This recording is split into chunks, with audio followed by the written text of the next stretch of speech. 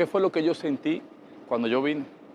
Cuando yo llego aquí a Puerto Plata, voy entrando y voy viendo. En este punto específico, supongamos que este es el terreno, yo cuando voy entrando, comienzo a analizar cuáles son los imanes naturales que hay. Yo hago un ejercicio que es más o menos un- así, Guillermo, y comienzo a detectar en una distancia aproximada de 5 kilómetros alrededor, ¿qué hay?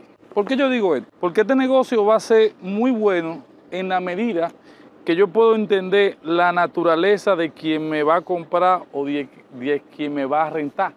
¿Por qué compra la gente? La gente compra porque cerca de esta ubicación, ah, Calderón, la gente me compra alrededor de esta calle que tiene Guillermo, donde tiene su porque quizás por aquí trabajan, o por aquí vive sus padres, o por aquí tiene familia, o por aquí tiene torre, o aquí está la playa. Esta ubicación azul es muy importante para esta gente en la medida que llena estos puntos, porque en este radio azul es que viven. Mi República Dominicana son las 4, 5, 10 kilómetros a la redonda donde aquí en, aquí en Puerto Plata.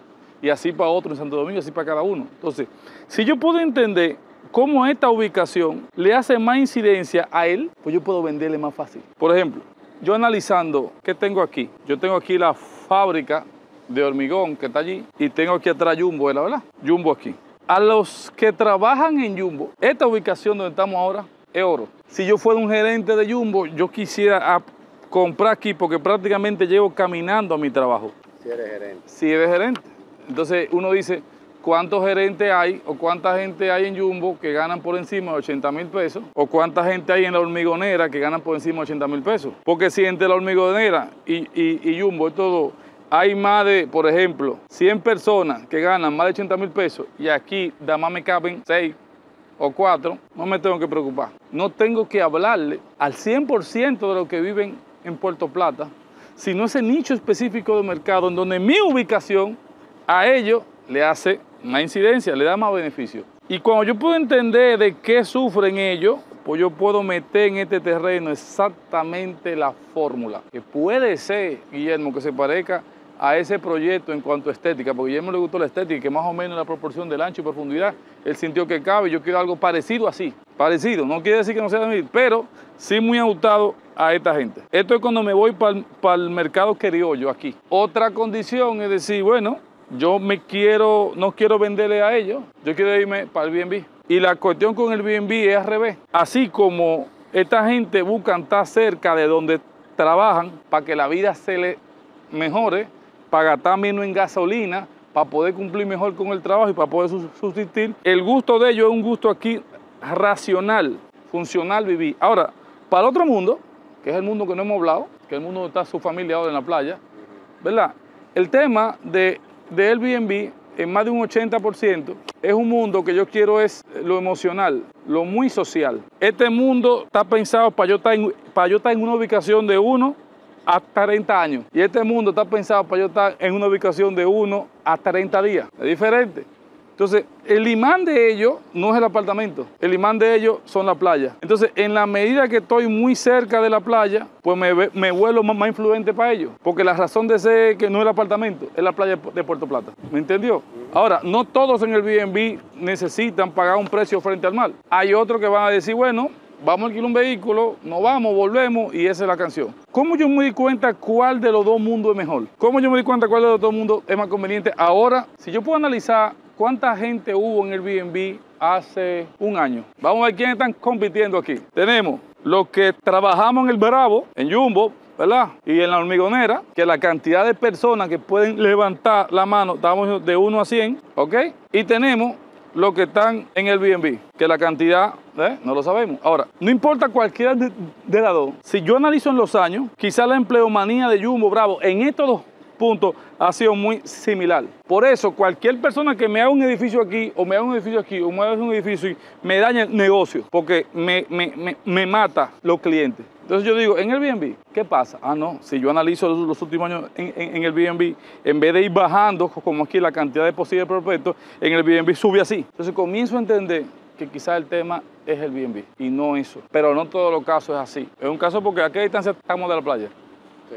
Dígame, ¿qué? ¿Usted estaba allá ahora mismo? Dígame. Guillermo, ¿a qué distancia estamos de la playa? Usted soltó su familia y vino. Yo como cinco minutos para Entonces, llegar aquí. entonces ahí que está. Entonces uno dice, ya entendiendo eso, Vamos, ah, ok, paso 2. Vamos al paso 2, Calderón. Si tenemos, así, si tenemos la playa aquí, conceptualmente hablando, y desde este punto de la playa, desde esta ubicación que es playa, tiramos un radio, un radio literal, y en este radio abarca todo lo que está a 5 minutos de la playa, todas las propiedades del Airbnb que se encuentren en estos puntos, no importa dónde, que están igual o menos de 5 horas de la playa, compiten con nosotros. ¿Sí o no? Ok, entonces, ¿cómo yo hago para no competir? Estas propiedades que están alrededor, ¿verdad? Que ofrecen un apartamento cerca de mar, tienen un rango de precio. Yo voy a analizar lo que se llama espectro de mercado.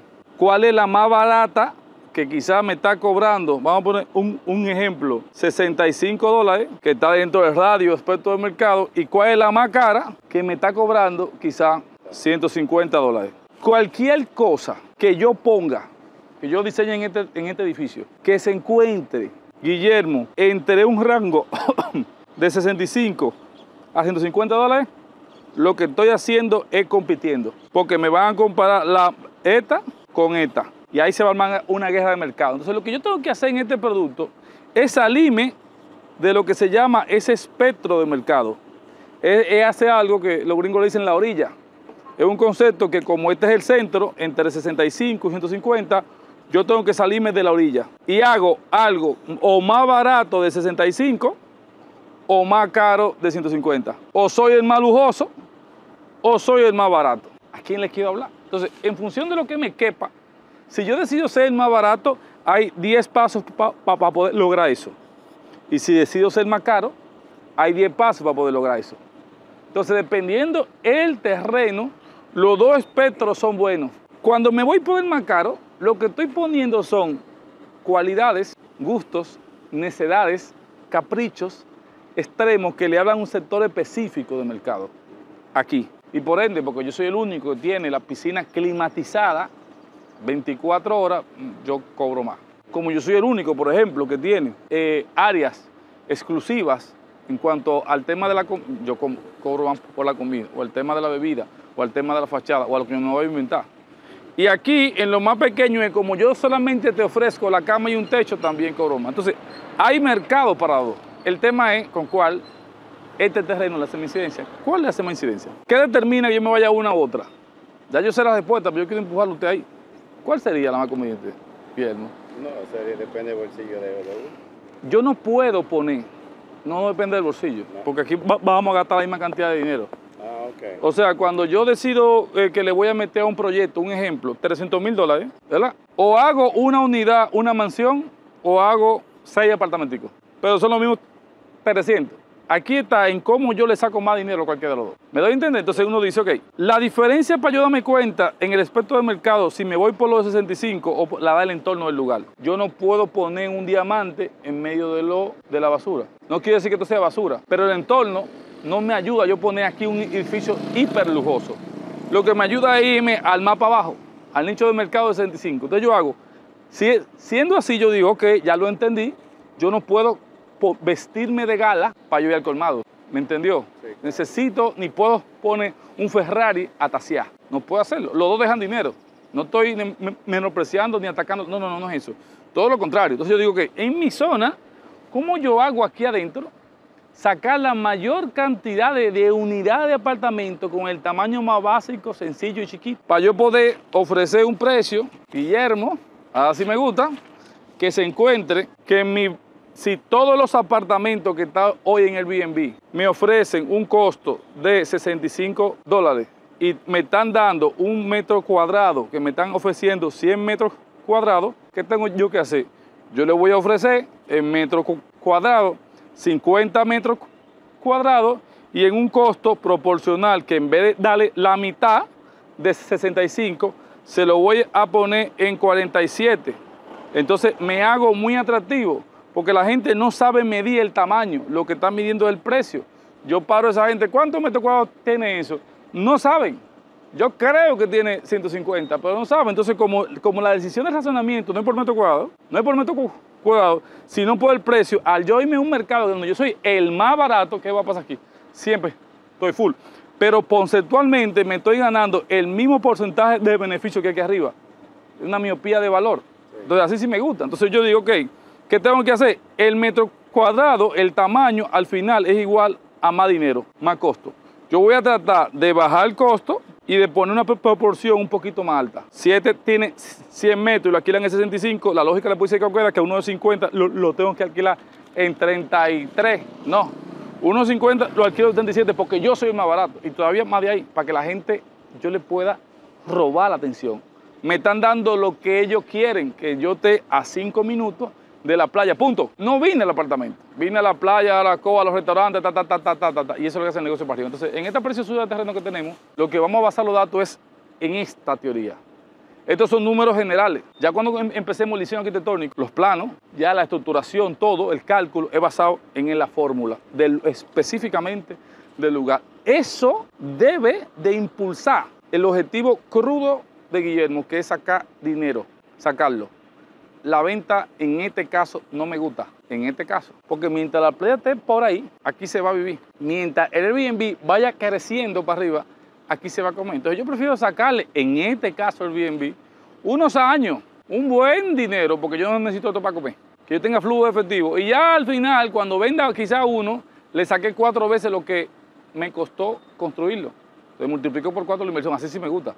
¿Me entendió? Que esto todavía tiene poca competencia y la oportunidad está ahora. ¿Cuándo me doy cuenta que no hay oportunidad?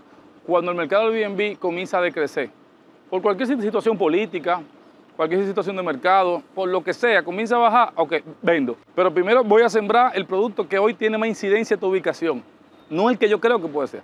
El que yo creo que puede ser, Guillermo, le conviene más Calderón. Una gente se para con Guillermo. Y Guillermo dice, mire, yo, yo he visto apartamentos, ¿eh? me gustaron, yo quiero algo así, lo primero que va a decir, claro, vamos a hacerlo. Porque no me voy a despeinar tratando de convencer a Guillermo por otro lado, porque a mí lo que me importa es yo. El otro va a decir como yo rápidamente cierro, un edificio y ya. No, no se trata de eso. Vamos a entender qué quiere Guillermo con este instrumento. Es rentabilidad. Y la rentabilidad es así. No hay otro camino. Yo no puedo cambiar el entorno, pero yo sí puedo cambiar mis decisiones si yo mi instrumento lo alineo al objetivo del entorno, esto va para arriba. Seguro. No hay forma, a menos que venga un COVID. Y ahí nos fregamos todo. Pero mientras tanto eso nos pase, es así. Entonces, ¿qué va a pasar? ¿Qué es lo primero que vamos a hacer en esta etapa? Vamos a medir el terreno, el ancho y la profundidad. Es algo así. Vamos a hacerlo un esquema, un ejercicio. Vamos a medir el terreno. Ok, Guillermo, este es el terreno. Tiene un ancho y tiene una profundidad. Hay mil formas de distribuir la tierra. Antes la hacíamos a mano. Y era como sumar a mano, 2 más 2 son 4 en, un examen de matemáticas y uno se equivocaba. Con el tiempo lo hacíamos después con una calculadora. Los exámenes, ¿se acuerda de matemáticas? Íbamos ahí y medio fallamos. Ahora la computadora nos ayuda. Pero el nivel 4, que es que estamos desarrollando ahora, es cómo yo le meto a este espacio inteligencia artificial para que los algoritmos me ayuden a ver de qué tanta forma diferente yo puedo aprovechar y dividir la tierra para conseguir un base, un tamaño por unidad de metro que esté por debajo de los 47 metros cuadrados, que es el número que yo quiero enganchar aquí. Porque si lo mantengo por debajo de 47 metros cuadrados, ya me di cuenta que puedo ofertar un 20, 15% por debajo del precio de la competencia, no compito con ellos y puedo entonces lograr robarme la atención. Si me robo la atención, la gente me compra el Airbnb, si me compra el Airbnb, esto siempre va a estar lleno. Si siempre está lleno, ya entonces ¿Me entendió? Entonces, ahí comienzo, no aplicar la mano, ni la calculadora, ni la no, no, sino apalancarme en el poder de la tecnología. Muchos programas, ya voy a hablar de, todo eso. Eso es lo que estamos aplicando ahora. Entonces, ¿qué va a pasar como resultado? Esta tecnología me va a arrojar miles de variables en donde todo tiene que pasar. Y yo esas variables tengo que adaptarlas al tipo de suelo, ¿ok? Conceptualmente, él hace una parte, pero no todo, al tipo de suelo, a lo que me permite aquí ayuntamiento, que tantos pisos me dejan subir qué tanta separación del lindeo tengo que saber con el otro, ¿ok? Al proyecto legal, legalmente, ¿qué es lo que me piden el banco para yo poder hacer este tipo de proyectos? Si lo voy a hacer con bancos, si no, no tengo que ver con eso. Y también a nivel de fachada, de estética, cómo yo hago que parezca más caro, no que me cueste más caro. Entonces, en, estos cuatro proyectos, que al final es, el concepto de la siguiente etapa que vamos a trabajar aquí, son que, todo lo que necesito para que, poner este proyecto en marcha. Ya con esto hago un presupuesto detallado y aquí puedo comenzar a ejecutar por etapas hasta donde el bolsillo me dé o hasta donde yo quiera meterme. O sea, puede ser que en el sitio me quepan ocho apartamentos, por ejemplo. y me dice Guillermo, Calderón, que yo no tengo para 8. Entonces lo lleva a 6. Calderón, que para 6 tampoco. Es comenzar con que estoy. pues, entonces no hace 6, hace 4, lo que se pueda. Pero no importa la cantidad que haga, cuando yo siembro, cosecho. El tema es que si lo dejo monte y culebra, el dinero que tengo, la semilla en el banco, se me pudren. Y cuando las quiero sembrar, ya no valen nada. Porque el banco me dice, Calderón, tráigame ese millón de pesos para acá. Yo se lo guardo y le voy a dar a usted de beneficio 3% anual. Y yo cojo en enero y le doy el millón. Y pasan los años. Este millón aquí valía un millón. El banco me dio un 3, pero cuando llega diciembre y analizo los números, la inflación subió un 6%. O sea que aunque el banco me dé un 3%, mi dinero vale menos de lo que valía cuando yo podía, del valor adquisitivo que yo podía comprar en enero. Entonces, ¿qué es lo que tiene que pasar? Yo necesito meter este dinero en bienes raíces, hacer un edificio, que la inflación, en vez de bajarlo, este edificio, la inflación me lo suba, ya sea por el flujo de efectivo o ya sea porque sencillamente lo compré, lo hice y lo vendí. Y así mi dinero no, no, no me lo mata el banco. Yo voy al banco a pedir para que me pague, tengo un millón, para yo meterlo en bolsa o meterlo en criptomoneda. ¿Qué me van a decir? Que no. Ellos saben que es una moneda volátil. La inflación se lo va a comer. Ahora yo voy al banco a pedir para que me dejen hacer un edificio. Toma, Calderón, claro porque se sabe que eso va para arriba. Entonces, el tema es ese, poder hacerlo como que por etapas. Bueno, ahora mismo eh, tú sabes que el gobierno va a tirar dinero a la calle, o empezó a tirar. Entonces, A imprimir, sí, entonces eso es lo que quiero aprovechar porque el banco me está ofertando. claro. Pero ¿qué usted cree que significa que el dinero ti- tire dinero a la calle? Hay que moverlo, hay que mover la economía. Inflación. Hay que mover la economía. ¿Qué va a pasar cuando el dinero, cuando el banco hace así, imprime dinero a la calle? Al tener más dinero a la calle, el valor adquisitivo de lo que yo tenía comienza a bajar. La oferta se acaba. Eso lo que quiere decir que a final de año, lo que yo compraba con un millón, ahora voy a necesitar comprar 1.2, porque están imprimiendo para poder equilibrar la economía. No está mal, ¿eh? El tema es uno en qué descansa el dinero. Por eso automáticamente el dinero da para afuera, Banco de Reserva baja esto a un 7%, que es una tasa muy buena. Yo tengo que agarrar meterlo automáticamente rápido en un inmueble, bienes raíz, para que la inflación sea a favor mío. Va a subir los inmuebles, pero va a bajar el valor adquisitivo. Yo voy a vender más caro y los que tienen dinero efectivo. Por eso yo voy a comprar un apartamento hoy, me cuesta 100 mil, voy ahora en diciembre a comprar otro, al final, al final ya un chisme más. Entonces, este es el número. A los bancos nadie lo engaña. Yo tengo que estar muy pendiente de cómo se mueve el banco. Pues ellos saben en qué momento sí, en qué momento no. Este es el momento de comenzar con los proyectos inmobiliarios. Ahora que hay dinero en la calle. Ahora, no aquí. Aquí. El banco, el, el- el gobierno va a recibir mucho dinero de dinero en la calle con los impuestos en diciembre. Mucho.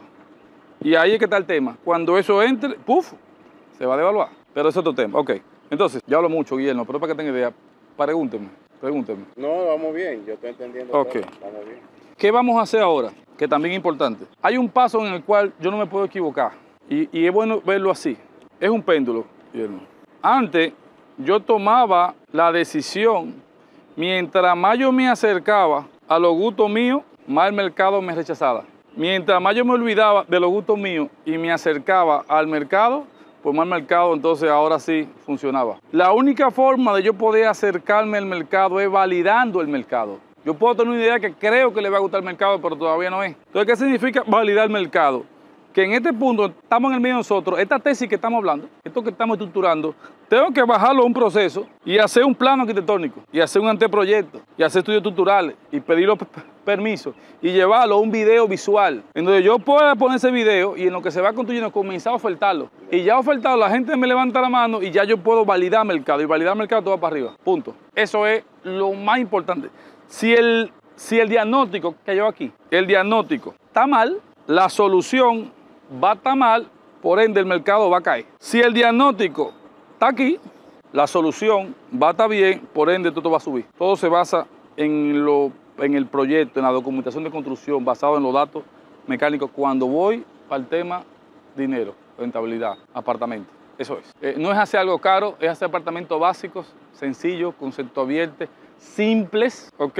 Pero que tengan una artesanía de modernidad, que evoquen la innovación y que yo pueda darle un pequeño porcentaje, un 10 a locuras que no existen aquí en Puerto Plata, para yo poder ser innovador y comenzar a atender un nicho de mercado que quizás buscan en cuenta. ¿Cómo yo comunico el valor? ¿Qué es el valor para una gente? Es algo que me ayuda a mí a lograr mi plan. Si yo veo que el otro quiere lograr el plan de llegar a la playa, ¿cómo yo lo ayudo a llegar a la playa? Yo bajo un ching el precio. porque no me están comprando las cuatro habitaciones, no me están comprando esto. O bajo, ajusto, ayudándolo a él, de paso Guillermo se hace rico. Yo sé que el mar está para allá, ¿verdad? Entonces, ¿qué voy a hacer?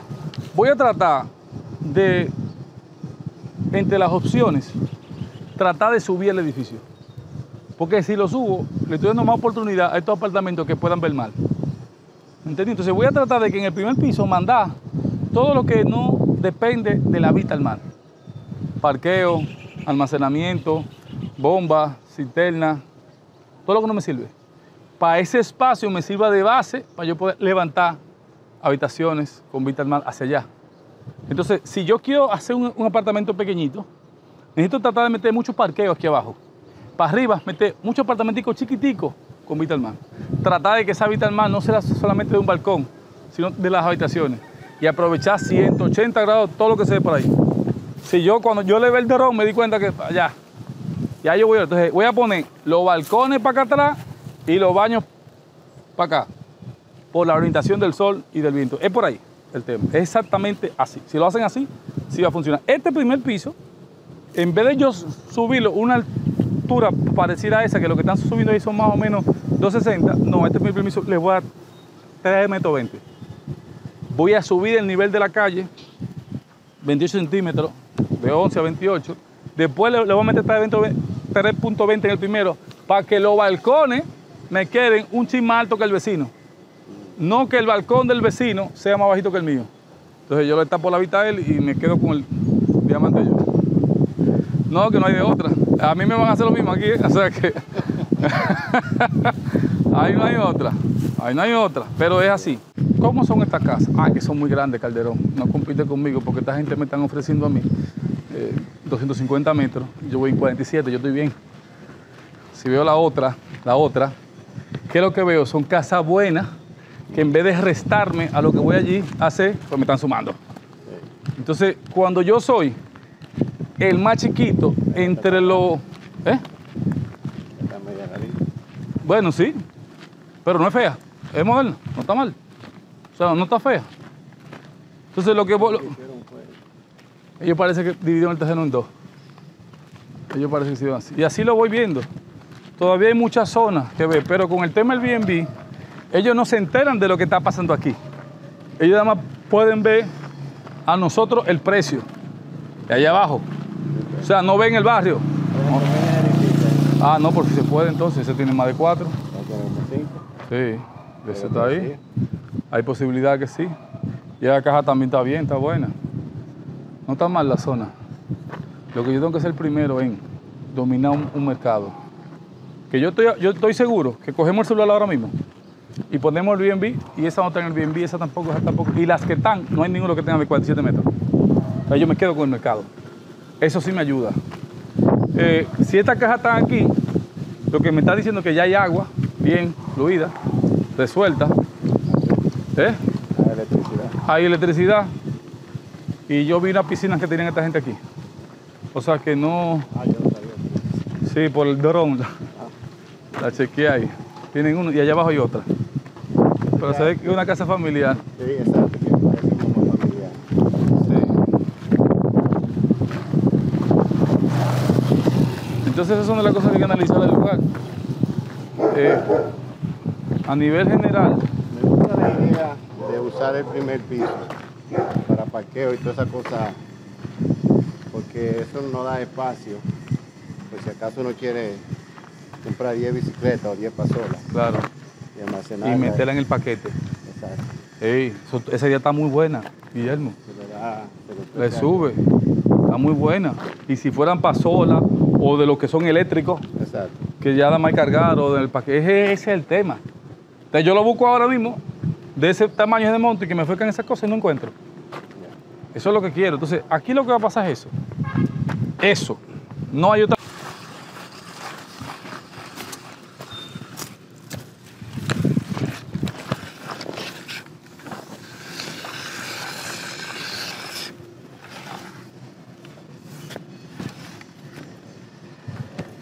Se agarró ahí, ok.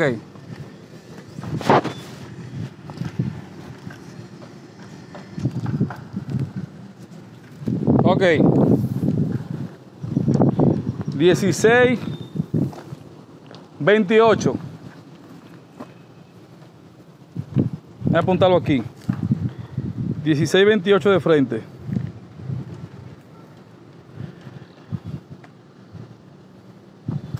Serían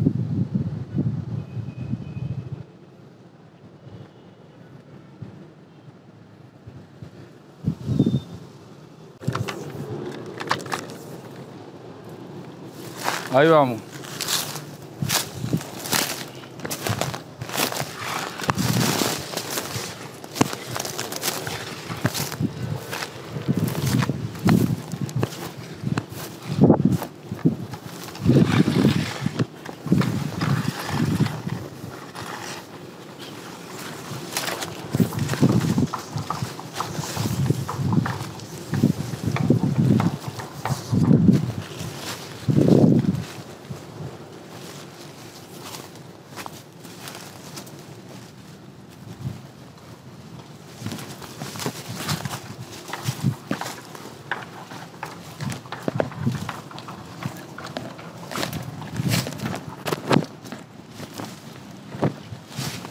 Ahí.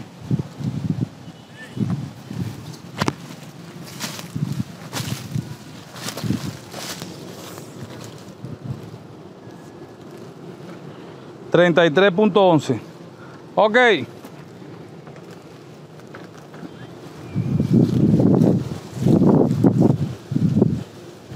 Treinta y tres punto once.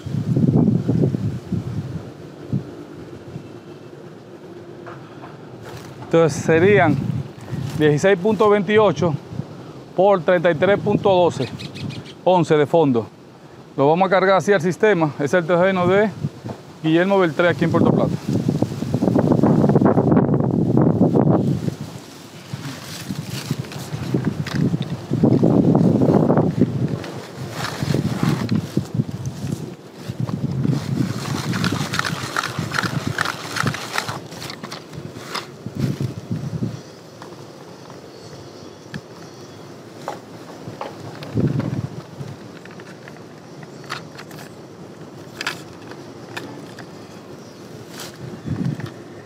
Qué raro.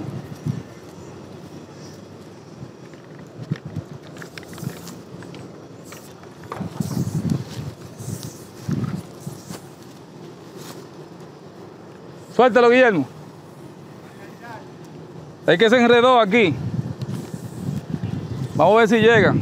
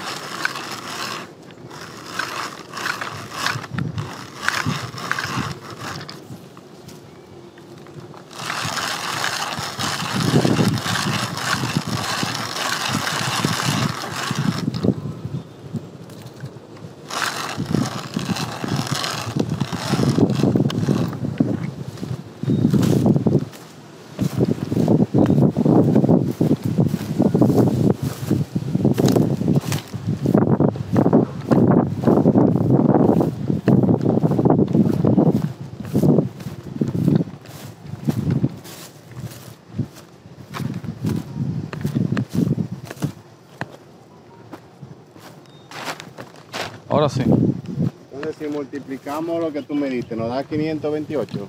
26, pero Vamos, vamos a multiplicarlo. lo Sería que dice el título que yo tengo, 520. 3311 por 1628. Entonces serían, ¿verdad? 1628 por 33.11. 539. Entonces, ¿qué pasa? Siempre va a haber un porcentaje mínimo, un 1, un 2, un 3, un 5 de diferencia, muy poquito. Pero ya con el agrimensor, cuando vayamos a marcar el terreno, el reflejo legal de lo que uno compró debe de coincidir con el reflejo físico de lo que está aquí. Estas medidas nos dan un alcance muy preciso ¿ok? a la realidad, muy cerca. Ya en la fase segunda, cuando comencemos ya la etapa de documentación de construcción, diseño y todo eso, entonces ya sí nos afinamos porque eso va para ayuntamiento. Y así sí me gusta. Pues el momento de calcular ahora mismo qué cabe, qué se puede hacer, cuánto más o menos costaría, cuál es el mercado que yo apuntaría, qué tanto metraje le di a cada unidad, cómo voy a manejar el primer nivel, el segundo nivel, y ahí yo tengo un base. Entonces ya con eso, entonces tenemos suficiente información para poder tomar una decisión. La decisión es, este es el momento, me da el bolsillo, puedo comenzar con algo pequeño por estado, arrancamos. Bueno, eh, es como te dije, el banco me está dando cuarto. Ellos van a dar. O sea, yo ni le he pagado to- total esto todavía. Yo lo, como te dije, yo lo compré en febrero, creo que fue. Sí, Y he estado pagándolo todos los meses. Entonces le pregunté al banco si ellos me prestarían para construir. Me dijo que sí. pues ya. Es lo que necesita es los planos arquitectónicos Es- y los permisos. y, y qué costaría. Eso. Ya lo vamos a calcular, depende de lo que veamos aquí. Pero eso es todo. Porque entonces decía así, vamos a atacar, tres frentes al mismo tiempo. Primero, un anteproyecto para presentar al banco. Para que el banco comience su mecanismo y me, apruebe el crédito puente o la línea de crédito. Aprobado. Al mismo tiempo, presentar anteproyecto ayuntamiento para que esta gente me den los permisos. Y al mismo tiempo comienzo a atacar perforación en el suelo para hacer estudios geotécnicos estructurales y poder tener entonces ya tener ya los planos de documentación para construcción. Entonces, al mismo tiempo comenzar a vender proyectos en los medios, en las redes, hacer lo que vaya a hacer por el vía crear eso a través de un diseño visual. Son tres frentes al mismo tiempo.